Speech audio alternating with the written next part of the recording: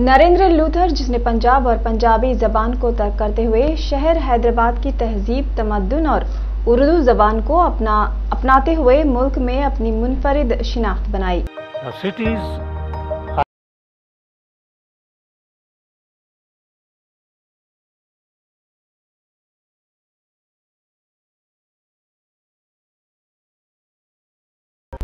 मुतहदा रियासत आंध्र प्रदेश के chief secretary की हैसियत से खदमात अंजाम देने वाले ब्यूरो कैरेट नरेंद्र लूथ ने तंज व मज़ाक के मैदान में हैदराबाद को आलमी शहरिया दिलाने में अहम रोल अदा किया।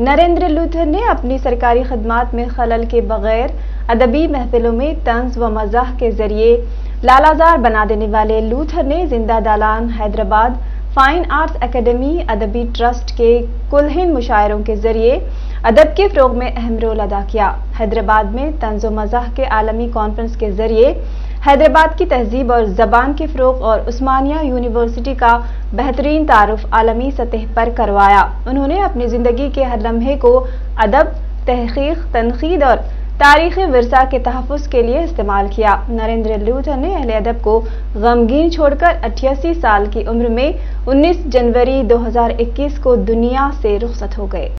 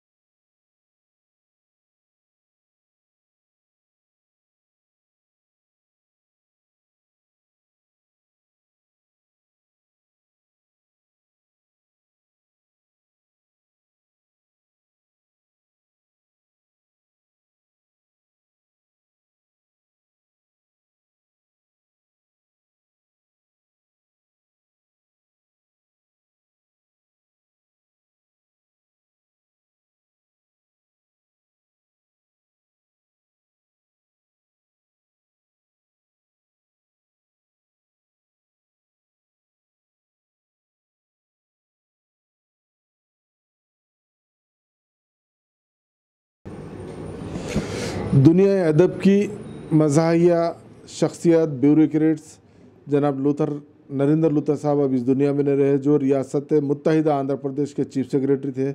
उसके अलावा उनकी शख्सियत ऐसी है कि वो हम पहलू शख्सियत के मालिक थे, पंजाब से ताल्लुक़ रखते थे। उन्होंने यहाँ पर अपनी ज़िंदगी गुजारी। इस दौरान नरेंद्र लूथर साहब ने उर्दू अदब के फ़रोग में जो रोल अदा किया वो भी नाकबिल फरामोश है। आज वो इस दुनिया में नहीं रहे आए इस सिलसिले में।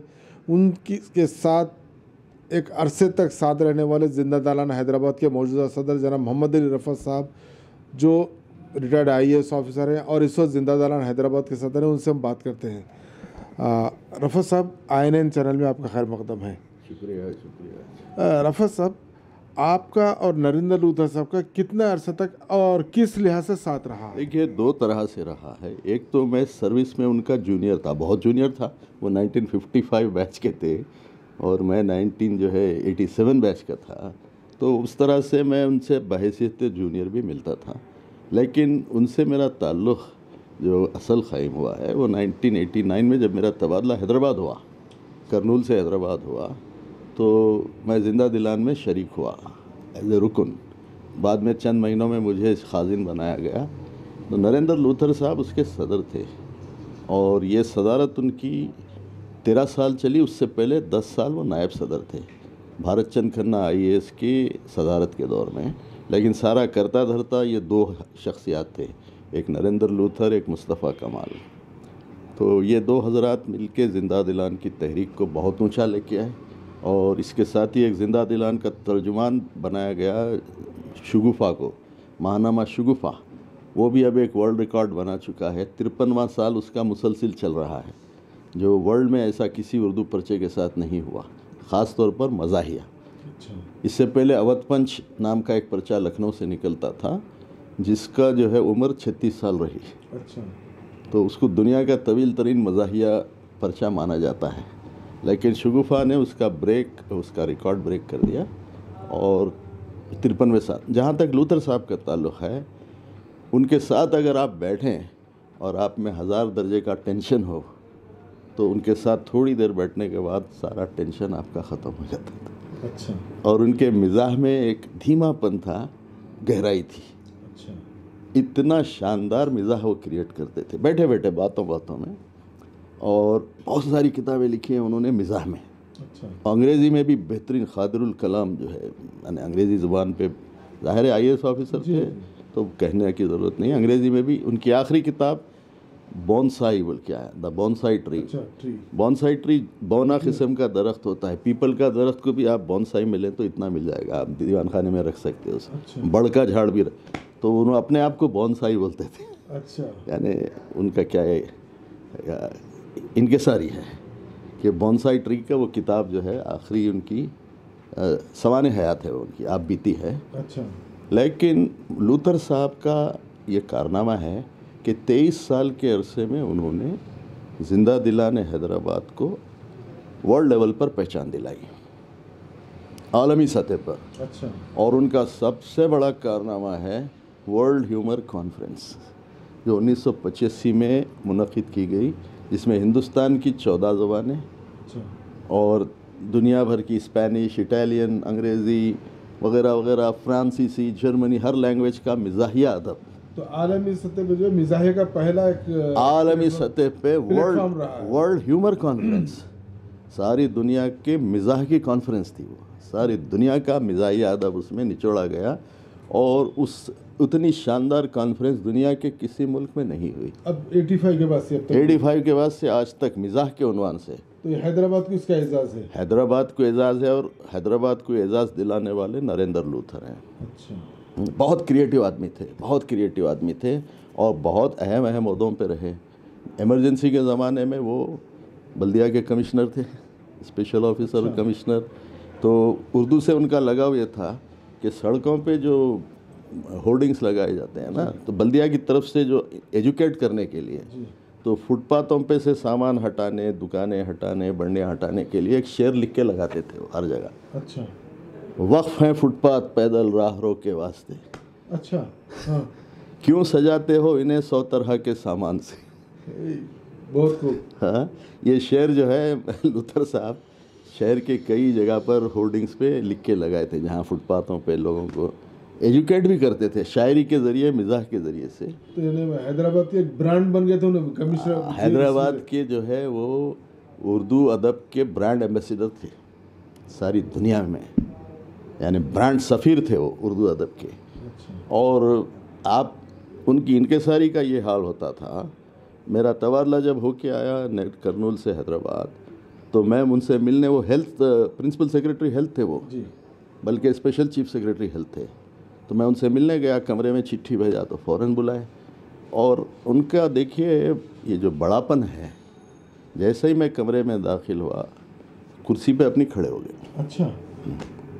अब मैं इतना जूनियर आदमी यानी मैं पहली सीढ़ी पे हूँ आखिरी सीढ़ी पे हैं। उसके चंद दिन बाद वो चीफ सेक्रेटरी हो गए। इसके एक साल डेढ़ साल बाद वो चीफ सेक्रेटरी हो गए। तो कुर्सी पे अपनी खड़े हो गए हाथ मिलाए। उसके बाद जब तक मैं नहीं बैठा वो नहीं बैठे। तो ये इस तरह का अखलाक जो है ना मैंने उस दौर के आई ऑफिसरों में देखा है। एस आर शंकरन हो या ये हो या दिलजीत अरोरा हो ये लोगों से जब भी हम मिलने जाते ये अपनी कुर्सी में खड़े हो जाते थे। अच्छा। और नरेंद्र लूथर साहब जिस गर्मजोशी से हाथ मिलाते थे जिस मोहब्बत से देखते थे तो और उन बड़े उसूल पसंद आदमी थे। मैं ये उम्मीद करके गया था कि शायद मुझे कोई अच्छी पोस्टिंग में वो सिफारिश करेंगे ज़िंदा दिलान के हवाले से। तो उनका एक ही जवाब था देखिए पोस्टिंग्स और ट्रांसफ़र्स सर्विस का हिस्सा है। जी। आते हैं और जाते हैं। कोई फ़िक्र मत करें आप जो पोस्टिंग दिया कर लीजिए जाके। अच्छा। तो ज़ाहिर है मुझे समझ में आ गया कि मुझे अब किसी से आइंदा सिफारिश करवाना नहीं है। उसके बाद से मुझे जहाँ भी पोस्टिंग दी गई मैं काम किया। कभी सिफारिश करके मुझे यहाँ डालो वहाँ डालो नहीं किया। जहाँ भी भेजा गया मैं चला गया। ख़त्म कर दिए। कल्चर को ख़त्म करने में नरेंद्र लूथर का हाथ था मेरे मिजाज में उससे वो पैरोकारी निकल गई। अच्छा। यानी हर नए दाखिल होने वाले को एक आस रहती है ये सीनियर मेरा जानने वाला है सरप्रस्त है हो सकता है ये मेरा तबादला कहीं करवा दे। इसी तरह एस आर शंकरन भी थे बहुत अजीम आई ऑफिसर थे। उनके पास भी गया तो वो भी कुर्सी में खड़े हो गए और बोले आपका क्या हो गया? बोले मुझे कर्नूल से तबादला कर दिया गया। सब डिविजनल मजिस्ट्रेट था यहाँ। तो बोले अगर इस हुकूमत ने आपका तबादला किया है तो इसका मतलब यह है कि आप एक अच्छे अहदेदार हैं। अच्छा। तो यही बात नरेंद्र लूथर साहब ने कही थी। अच्छा। समझे ना? और उनके मिजाज में जो मिजाज था किसी को अगर नापसंद करते तो उसको झिड़की नहीं देते थे उसको बुरा नहीं बोलते थे कुछ तनकीद नहीं करते थे। एक साहब जो है ज़बरदस्ती के जो है अदीब बनना चाह रहे थे। अच्छा जबर अदीब भी ज़बरदस्त। ज़बरदस्ती के जो है। डाउनलोड अंग्रेज़ी के जो है पर डाउनलोड जब डाउनलोड नहीं था वो किताबों से जो है तर्जुमे करना हाँ। और अंग्रेज़ी भी उनको बराबर नहीं आती थी। तो एक उर्दू के अदीब थे जो अंग्रेज़ी भी जानते थे उनसे तर्जुमे करवा के किताबें छाप के अच्छा। तो उन्होंने एक नंबर भी निकलवाया अपना। तो उस नंबर की रस्म इजरा में नरेंद्र लूथर को बुलाया कि इससे मेरी इज़्ज़त में चार चाँद लग जाएँगे मुझे भी बुलाया गया। तो क्या उस वक्त नरेंद्र लूथर साहब ज़िंदा दलन के सदर थे उस वक्त? ज़िंदा दिलान के सदर नहीं थे वो हट चुके थे। अच्छा। हट के कुछ ही अरसा हुआ था साल दो साल। 93 तक वो सदर थे। अच्छा। तो जब इनसे कहा गया कि जो है हज़रत जिनकी किताब की जिनके नंबर की रस्म इजरा हो रही है उस पर आप कुछ इजहार ख्याल फरमाएँ तो इतना प्यारा अंदाज था उनको कंडेम करने का। अच्छा। वो बोले देखिए पहले तो मिजाह पे बात की एक दो मिनट उसके बाद बोले देखिए जहाँ तक ये साहब हैं इन जहाँ तक इनके बारे में मेरी राय का ताल्लुक़ है सामने बैठे हुए एक दो तीन ये आप भी जानते हैं ये आप भी जानते हैं ये आप भी हबीब साहब नाम नहीं ले रहे ये आप भी जानते हैं उंगली से बता रही तो इतनी हँसी छुटी लोगों की ये आप भी जानते हैं ये आप भी रास तौर पे उनको उनको कुछ भी दिल नहीं करे उनकी नहीं किए। सब कुछ कर दिए। बोले कि भाई, मेरे जो राय है, ये आप जानते हैं, ये आप जानते हैं, ये आप भी जानते हैं। तो ये उनका बहुत अजीम अंदाज था, किसी के मुँह लगे बगैर, उसकी हकीकत उसको बताने का। समझे ना, तुम्हारा औकात क्या है, तुम्हारा मुकाम क्या है? बताने का एक बहुत शानदार तरीक़ा था, पुरमिज़ाह तरीक़ा था। दिल शिकनी भी नहीं थी। अब जिसकी वो कंडेम कर रहे थे, इस तरह से वो शख्स तो समझा भी नहीं उसको। काम भी हो गया। काम भी हो गया।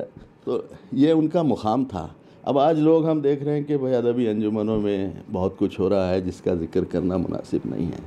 बहुत ही नीची सतह पर आ गया है माहौल अदबी माहौल। लेकिन आप जब नरेंद्र लूथर की बात करते हैं तो आपको आसमान पे चाँद सितारे नज़र आने लगते हैं। अदब के। आज हम जो है वो चाँद सितारों में आज वो चाँद गुरूब हो गया आज। आज वो चाँद डूब गया। नरेंद्र लूथर जिसका नाम था। समझे?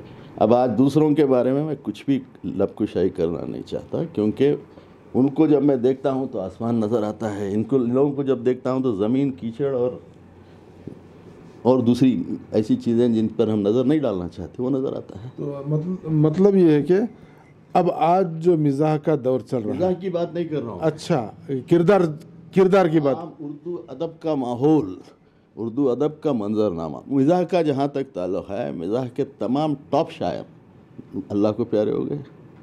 और अब नए शायर पैदा करने के लिए हमको ढूंढ ढूंढ के अजला से लाना पड़ रहा है। कोई कागज़ नगर से, कोई बोधन से, कोई नागपुर से अच्छे शायर आ रहे हैं, मगर हैदराबाद में कमी हो गई। हैदराबाद में मुतशायर ज़्यादा हो गए और हर मुतशायर चाहता है कि औजे सुरैया पे जाके बैठे। लेकिन उसके अंदर उस्ताद का ही कलाम होता है उसके पास, उसका अपना कुछ नहीं होता है। तो ज़ाहिर है वहाँ पर वो सूट भी नहीं होगा। तो जो इन लोगों ने, हमारे नरेंद्र लूथर ने जो माहौल बनाया था, उस ज़माने में अजीम फनकार थे, मिजाह के। ऐसे अली साहब मियाँ थे, सुलेमान ख़तीब थे, सरवर डंडा थे। सरवर डंडा कुछ दिन के बाद चले गए। और कुछ दिन एजाज हुसैन खट्टा भी थे। आप देखिए अली साहब मियाँ का कलाम अगर आप सुने तो आप लोटपोट हो जाएँ। उनका एक अंदाज सुलेमान ख़तीब का कलाम हँसते हँसते और उसमें जो दखनी के लफ्ज़ियात का इस्तेमाल किया ख़तीब ये सब नरेंद्र लूथर साहब के साय में परवान चढ़े हैं। अच्छा रफत साहब आपको ज़िंदा दिलान में कितना अरसा लूथर साहब के साथ गुजारने का मौका मिला? देखिए मुझे जो है ना पाँच साल उनके साथ रहा मैं ज़िंदा दिलान में फॉर्मली वो सदर थे मैं खाजिन था। उससे हट के मैं इकतीस साल बल्कि आज बत्तीस साल हो गए मैं उनके साथ रहा हूँ। हर थोड़े दिन में उनके घर जाके मुलाकात होती या वो खुद आ जाते हैं हमारे पास। तो थर्टी वन ईयर्स से मेरा मेरी उनकी वाबस्तगी रही है। रफा साहब ये बोले इकतीस साल का जो आपका साथ रहा कोई ऐसा वाक़ा जो उनके आपके लिए बहुत ज़्यादा यादगार हो उनके इकतीस साल के दौरान का? देखिए जब वो ज़िंदा दिलान की सदारत से इस्तीफ़ा दिए तो उसके बाद वो फिर इजलासों में शिरकत करने से कतराते थे। उसकी वजह क्या थी? ऐसा है देखिए उसकी वजह क्या थी कि उस वक्त जो है हैदराबाद में वो माहौल चल रहा था बाबरी मस्जिद के तोड़ने का। अच्छा। तो कुछ हजरात ने इनके ऊपर इल्ज़ाम लगाया। हम्म, तो कुछ कलर देने की कोशिश की तो वो उससे नाराज़ होकर इस्तीफ़ा दे दिया। मतलब ज़िंदा दालान से इस्तीफा दिए ज़िंदा दिलान से, ज़िंदा दिलान वालों ही ने जब ये हरकत की तो उनका दिल टूट गया, क्योंकि वो इंतहाई सेक्युलर अब देखिए, उर्दू से इतनी मोहब्बत रखने वाला आदमी। तो उस गंदे माहौल में लोगों को अपने आप को बचा के रखना चाहिए था, अपने जहन को साफ़ रखना चाहिए था, वैसा कुछ लोग नहीं कर पाए। तो इससे उनको ठेस पहुँची और वो रिज़ाइन कर दिए लेकिन ज़िंदा दिलान की हर फ़ंक्शन को वो पीछे से सपोर्ट किया करते थे। अब हाँ, उसकी मिगजाल ताज़ा ये है कि 2017 में 24 मई 2017 को हुकूमत तेलंगाना ने डॉक्टर मुस्तफ़ा कमाल के पर्चे के 48 साल की तकमील के ज़िमन में उनको एजाज़ से नवाजा। अ, मतलब मुस्तफ़ा कमाल को? मुस्तफ़ा कमाल को शगुफा के हवाले से। तो उस जलसे में उस हमारे नरेंद्र लूथर साहब को बुलाया गया मेहमान खसूसी के तौर पे। उस वक्त उनकी सेहत ऐसी थी कि चल नहीं पा रहे थे। अच्छा। तो बोले नहीं मुस्तफ़ा कमाल के लिए मैं किसी हालत में भी आऊँगा। जी। और वो तशरीफ़ लाए और तकरीर किए। बोले मुझे पहले बात करने का मौका दो फिर मैं चला जाऊँगा। तकरीर किए। करने के बाद फिर मैं उनको सपोर्ट करते हुए उनकी कार तक ले गया। तो वो शायद उनका आखिरी शिरकत थी उसके बाद हम घर पे जाके मिलते थे। अच्छा। मैं और कमाल साहब उनके घर पे जाके मिलते थे। तो एक अजीम शख्सियत एक बेहतरीन किरदार और एक मोहब्बत वाला शख्स और उसका मिज़ाह कुछ ऐसा कि जो है आप सोच भी नहीं सकते कि आदमी कहाँ से मिज़ाह तख्लीक कर रहा है। जी।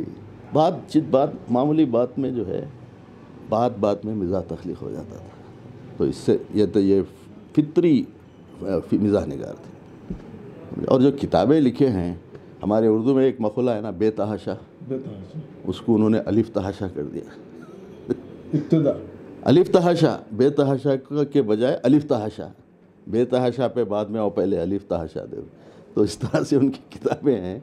अमेरिका गए उसके बारे में अपने तासुरात लिखे ये अलिफ तहाशा लिख बहुत सारी किताबें हैं जो शगुफा के ज़रिए छपी है। तो हमारा ताल्लुक़ उनका समझ लीजिए कि मरते दम तक रहा उनके साथ। एटी नाइन से 2021 में आ गए हम। तो समझ लीजिए कि आप थर्टी टू ईयर्स हो गए। मेरा उनका ताल्लुक़ हुए, बत्तीस साल गुजर चुके हैं। लेकिन जब भी उनके पास बैठते, एक फ़रहत का एहसास होता। तबीयत में बशाशत आ जाती। जी, ये उनकी ख़ास बात थी। शख्सियत का एक ख़ास मिजाइया पहलू ये था कि आपको वो रिफ़्रेश करके भेजते और कोई कभी छिछोरा लफ्ज़ उनके मुँह से नहीं निकला। हमेशा एक आला मैार की अदबी गुफ्तु होती थी और उस गुफ्तु में ऐसा माहौल बना देते थे कि आप में अगर टेंशन लेके बैठे हुए हैं, फ्रेश होके आप उठते थे, ताज़ा होके उठते थे। तो ये बात जो है, और भारत चंद खन्ना भी बहुत बड़े उर्दू के राइटर थे। जी। तो जो चार पाँच आईएएस ऑफिसर थे जिन्होंने ज़िंदा दिलान को बुनियाद डाली उसमें भारत चंद खन्ना नंबर एक पे नरेंद्र लूथर नंबर दो पे उसके बाद सी एन शास्त्री थे और कुंज बिहारी लाल वो भी चीफ सेक्रेटरी रह के रिटायर हुए के बी लाल। तो और एक कोई आईएएस ऑफिसर थे आ, मुझे नाम याद नहीं आ रहा है उसके बाद जो है बिजवाड़ा गोपाल रेड्डी जो चीफ मिनिस्टर थे आंध्रा के और बाद में गवर्नर हुए। उन्होंने ज़िंदा दिलान की खातिर फाइन आर्ट्स की खातिर एक उस्ताद रखे उर्दू सीखी है। उन्होंने? हाँ गोपाल रेड्डी। इन लोगों के माहौल से मुतासर होके। नरेंद्र लूथर भारत चंद खन्ना सी एन शास्त्री के भी लाल वगैरह के माहौल से मगर इन सब के अंदर गालिब अंसर जो है नरेंद्र लूथर का रहा। गो के भारत चंद खन्ना सदर थे इनके सीनियर थे ये बहुत एहतराम करते थे लेकिन सारा काम ये करते थे। तो खन्ना साहब बोलते हैं लूथर तुम कर दिया ना? ठीक है चलो। वो बहसियत सदर सिर्फ़ इतना ही बोलते थे। लोथर ये हो गया ना? ठीक है तुम और कमाल ठीक। समझे ना? तो कमाल साहब को ये बेनतहा चाहते थे और जब वो उस इजलास में रविंद्र भारती थिएटर भर गया था लोगों को जगह नहीं मिली तो खड़े हुए थे लोग मुस्तफ़ा कमाल का जो एजाज़ में गवर्नमेंट ऑफ़ तेलंगाना से हुआ था लोग खड़े हुए थे। उसमें लूथर साहब का जो आना और उनके बारे में कहना एक बहुत बड़ी बात थी। तो उर्दू को इस तरह से उन्होंने सपोर्ट किया उठाया ऊपर और उर्दू के हकीकी खिदमतगार जो हैं जो तिरपन साल से चला रहे हैं उनको खराज अकीदत इस तरह पेश किया कि चलने फिरने में तकलीफ़ होने के बावजूद सेहत ख़राब होने के बावजूद आए और 10 मिनट तकरीर किए और फिर चले। मतलब जो बरसों का साथ दोस्ती जो थी उसको उन्होंने दोस्ती के अलावा जो है उनका खराज अकीदत था उर्दू के लिए।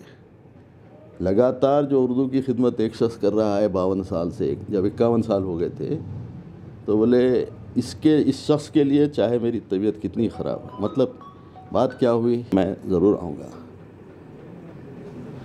तो इस तरह से वो इनक्रेज किया करते थे। अगर कोई अच्छा अदीब है तो बोले कमाल उस लड़के में वो जो लिखा है मजमून उसमें कुछ बात है। अच्छा। तो उसके लिए बहुत बड़ी बात हो जाती थी। तो अब तो हमको ढूंढना पड़ रहा है। अच्छे मिजाहिया अदब लिखने वाले, नसर लिखने वालों को ढूंढना पड़ रहा है। तो हैदराबाद के बाहर जाकर हम लेके आ रहे हैं। और शायर तो समझ लीजिए कि नापिद हो चुके हैं। चार पाँच रह गए हैं छः सात यहाँ, हैदराबाद के शायर। और बाकी के जो है, बाहर से लाना पड़ रहा है हमको। तो इन लोगों के जाने से एक खला पैदा हो रहा है। तो उसके लिए उतना अदबी माहौल रखने वाला उतना भी मिजाज रखने वाला और वो ज़र्फ़ रखने वाला हाँ? ऐसा आदमी चाहिए जो लोगों को उठाए और जेन्यून लोगों को उठाए। मुतशायरों को उठाने से कोई फ़ायदा नहीं। ये मुर्दे हैं ये खुद जो है लोगों के कांधों पे चल रहे हैं। इनको उठाना क्या है? ये चार कांधों पे ये उठे हुए हैं जो लोगों से लिखवा के पढ़ते हैं जो डाउनलोड करके नसर में जो है किताबें छाप लेते हैं। इनको उठाना क्या है हाँ, इनसे अदब की खिदमत तो नहीं हो रही है। ये इनका एक जज्बा है खुद नुमाई खुद सिताई का जो इनको लेके जाता है खुद फरेबी के जाल में। हाँ? तीन दो बातें हैं इन ये दो बीमारियों में अगर मुलविस हो जाए कोई अदीब या शायर। खुद नुमाई का शौक़। खुद सिताई अपनी तारीफ़ करना या करवाना। वो ले आके गड़े में डालती है जिसका नाम है खुद फरेबी। तो ये चीज़ों से बहुत दूर रखते थे हमको नरेंद्र लूथर। अच्छा। और खुद मुस्तफ़ा कमाल इन चीज़ों से हमको बहुत दूर रखते थे। तो हमको जो कुछ भी जहाँ तक मेरा ताल्लुक़ है मैं कोई बड़ा शायर नहीं हूँ बस तुकबंदी कर लेता हूँ मज़ाहिया शायरी में। लेकिन मुझे पूरा इतमान है कि ये मेरा ज़ाती एक एक लफ्ज़ मेरा ज़ाती होता है उसमें। ये दिल के चाहे पब्लिक अभी उतना पसंद करे ना करे एक और बात है। सही है। लेकिन हम एक सच्ची चीज़ पेश कर रहे हैं। किसी कलाम पे नाजायज काबिज नहीं है। नहीं नाजायज़ नहीं उधार भी लेके आते हैं खरीद के भी लाते नाजायज़ कब्ज़ा एक और चीज़ है उधार लाना एक और चीज़ है ख़रीद के लाना एक और चीज़ है। हम हैदराबाद में देखे हैं ऐसे शायरों को जो एक बड़े शायर आके होटल में बैठ जाते थे और कुछ लोग आके वालेकुम साहब एक गज़ल होना साहब। तो उन्हें पूछते थे उनवान के मजमून क्या होना है? अच्छा मियाँ कितने की गज़ल होना है? अच्छा। अरे साहब एक पाँच रुपये की गज़ल दे दो। ये मैं नाइन्टीज़ की बात कर रहा हूँ मैं। पाँच रुपये की गज़ल दे दो। कोई ज़रा अच्छे अहदे पे है तो बोलता साहब एक पंद्रह रुपये की गज़ल दे दो सर। तो यह चीज़ भी हम अपनी आँखों से देख चुके हैं। इन चीज़ों से हमको ज़िंदा दिलान और शगुफा को पार कर पाक करना है। और नरेंद्र लूथर कभी इन चीज़ों को इंकरेज नहीं करे। दाखिल होने नहीं देते। और वो खुद नुमाई की उनको ज़रूरत ही क्या थी भाई? एक चीफ सेक्रेटरी के दौर पे रिटायर हुआ है। यूनाइटेड आंध्र प्रदेश के वो भी और 1955 बैच का आई ऑफिसर। हाँ? और वो क्या है? उनको क्या ज़रूरत है खुद नुमाई की खुद सिताई से बहुत दूर रहे। तो ज़ाहिर है अपने बारे में कोई गलत फहमी का शिकार नहीं थे। समझे ना? कि नरेंद्र लूथर के जाने से उर्दू अदब अंग्रेज़ी अदब। अच्छा। हाँ अंग्रेज़ी के भी बहुत बड़े राइटर थे वो। और मिजाहिया अदब का एक इतना बड़ा नुकसान हुआ है कि जिसकी तलाफ़ी हमको होती भी नज़र नहीं आती। शुक्रिया रफत साहब, आपने नरेंद्र लूथर क्या है और उनकी हकीकत के बारे में आपने हमें आई चैनल को आखिफ करवाया